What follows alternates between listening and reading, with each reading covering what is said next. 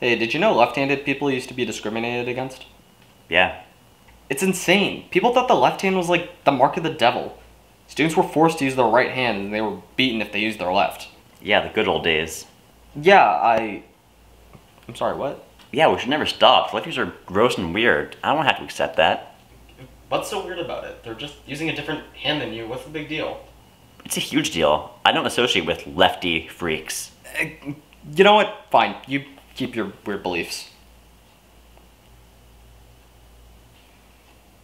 Okay. Out of curiosity, what do you think of ambidextrous people? Oh, don't even get me started. Ambidextrous men are just lefties in denial. And ambidextrous women? Oh, they're just righties who want to feel special. Dude, I really don't understand why you're making a big deal out of this. I don't understand why you're making such a big deal out of me making a big deal out of it. You're not a lefty, are you? Dude, it's just like having red hair or blue eyes. It's just another way a human can be. Oh, so you're in favor of red hair and blue eyes too? They're just as bad as lefties, you know. What? I. Oh, I bet you hate me for being Asian too. I'm, I'm not fucking racist, Jack. What do you take me for? Uh.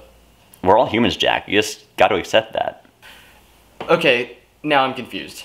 You don't get it, do you? No, I really fucking don't. Please explain your weird ass belief system to me. If you insist. If you have heterochromia with different colored eyes, then I really do not care if you fall down the stairs and die.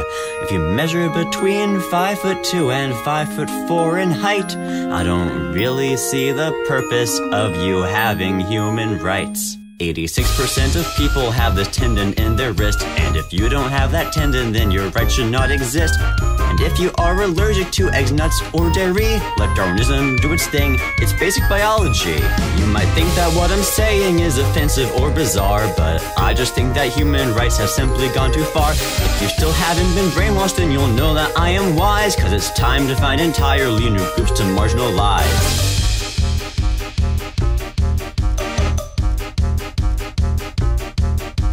Your fingers double jointed, our acquaintanceship is done. I don't want you being a bad influence upon my son. And if you are socks and doors, then I think that you will find your beliefs are plain and simple, incompatible with mine. Don't get me wrong, I don't hate that you need bifocals to see. I just need you to accept that you are less human than me. If your earlobes are connected, you have no reason to gloat. Please remind me why you think that you deserve the right to vote.